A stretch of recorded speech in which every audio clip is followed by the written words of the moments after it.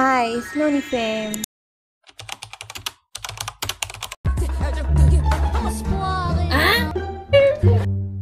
제가 5월에 컴맹을 해서 혹시 혹시 지금 혹시 지금 언젠가 5월에 컴맹을 해서 네 네. 시간만 되면 네. 틱톡 챌린지를. 어, 네, 해야죠. 아 감사합니다. 감사합니다.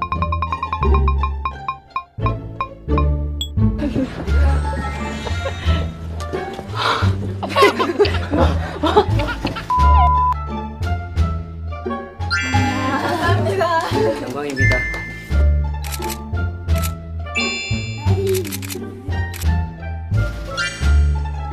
영광이었습니다. 커버도 했었거든요. 아 그쵸.